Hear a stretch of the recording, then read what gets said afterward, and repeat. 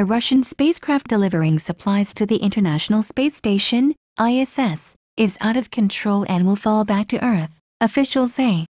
The unmanned cargo ship was launched from Kazakhstan on Tuesday, but contact was lost with it soon afterwards. Russia's space agency says Progress M27M is now orbiting in an uncontrolled spin. It cannot reach the ISS and is likely to break up on re-entering Earth's atmosphere. The craft carried on to a higher orbit after contact was lost. Igor Komarov, the head of Russia's space agency, Roscosmos, said, the craft's continued flight and its docking with the ISS is not possible. Two astronauts spending a year on the ISS, Scott Kelly and Mikhail Kornienko, told the Associated Press news agency that flight controllers had given up hope of controlling progress again. Interfax reports that Progress is likely to re-enter Earth's atmosphere in the coming hours if communication is not restored, but the Russian news agency Interfax said it would re-enter between 7th and 11th May. Other capsules, including one Progress craft last year, have burned up and disintegrated on re-entering Earth's atmosphere without posing a threat to the planet's population. Cathleen Lewis, a specialist in Russian space programs at the Smithsonian Institution's National Air and Space Museum in Washington, said it was not yet known where debris will fall, but that it was highly unlikely to hit urban areas.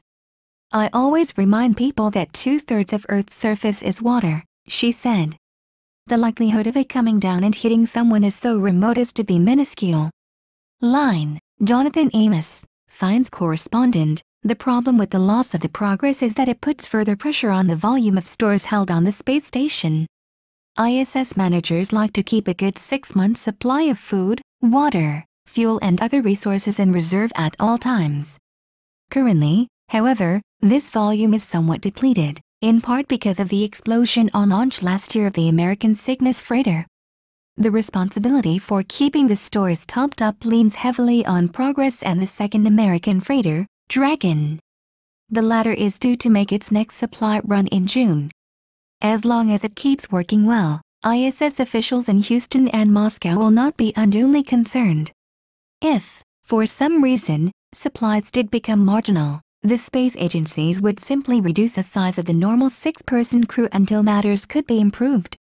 Progress was to deliver food, water, fuel, oxygen and clothing to the crew of six people on the space station that orbits about 420 kilometers, 250 miles, above Earth.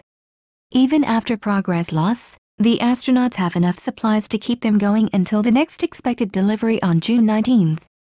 A Roscosmos spokesman told Reuters that the loss was valued at 2.59 billion rubles, $50.7 million, 32.9 m.